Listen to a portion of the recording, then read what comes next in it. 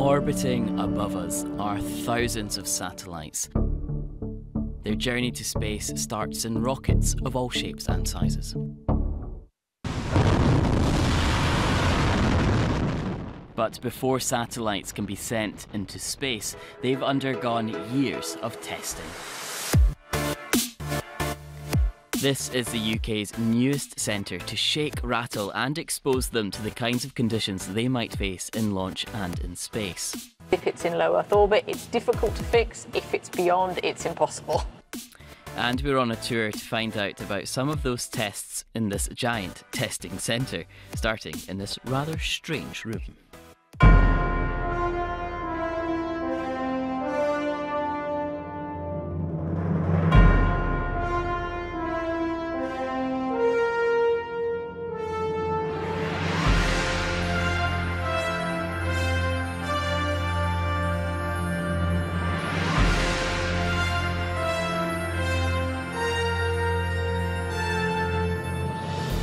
This is our electromagnetics facility in the NSTF.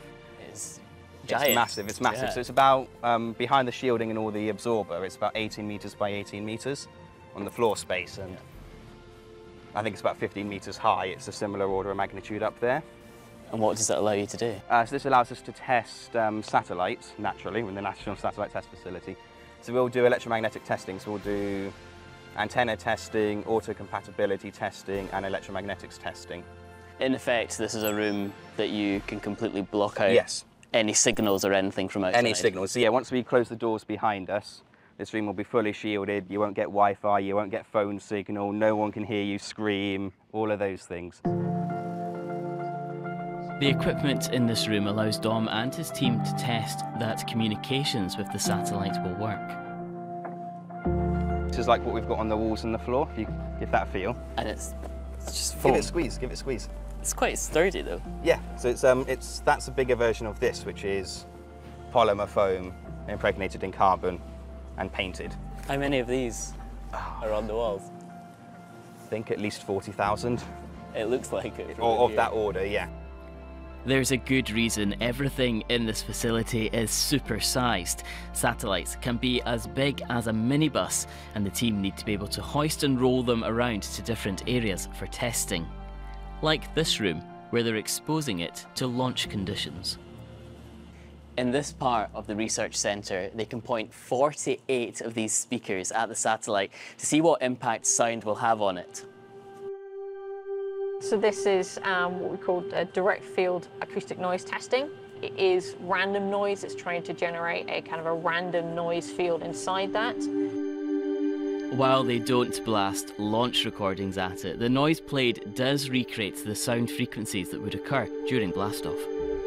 Solar panels could flex and break, um, but because a lot of it is you can get very high frequencies, bolts will undo. Um, and you- Literally yes, unwind. absolutely, yeah. Um, because it, we go some of the tests go up to 10,000 hertz, so effectively 10,000 sort of movements in a second. This room was designed to be soundproof. We have a very big blue door.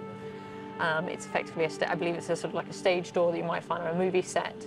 Um, but it, along with very thick walls for internal and extremely thick for going outside, um, mean that we can run a test louder than an aircraft carrier deck. You can be just outside in our main hall, and there'll be a, you'll hear a rumble. Everyone will know what we're doing. One of the biggest features of this new testing facility is the vacuum chamber. It's so big the building had to be constructed around it. This one is still being commissioned, but in a building next door they have a slightly smaller one in use, and that means getting dressed up even more. Why are we so suited and booted for this task? Yeah, it is essentially to stop the fallout of the dirtiest things we have, which is humans. We drop a lot of skin and we sweat, and all of that collects in the room and it will slowly evaporate and stay in the air, and we're trying to keep it incredibly clean. This item isn't one that's going on a planetary lander, but we do have things coming in here that go to planets that require planetary protection levels of cleanliness, so we can't contaminate them with human items. So uh, this is our thermal vacuum chamber to get things really warm or really cold. Rachel is working on the Ariel mission, which will see a satellite spend four years observing exoplanets, which are very far away beyond our solar system. They'll use an engineering test model in this room to see what impact temperature has. The first step is to warm it up. That's to bake off any things that are left in the paint or the glue, get all the outgassing done, and then we're going to go very, very cold to simulate space in a vacuum. So this chamber, chamber can go up to 100 degrees Celsius in hot. We generally only go to about 80 just for the safety of the items in it. And then it can go down to 90 Kelvin cold, so minus 180 degrees C, using liquid nitrogen. But for Ariel, we need to go even colder because it's an infrared mission, so it needs to go down to 40 Kelvin. So we're actually going to install further cryo coolers and have a second stage of cooling inside this chamber. It's predicted that over the next decade, the number of satellites in space will increase by thousands. They have a role in everyday life, from major science discoveries to tasks like sending a message or warning us when life threatening weather is on the way.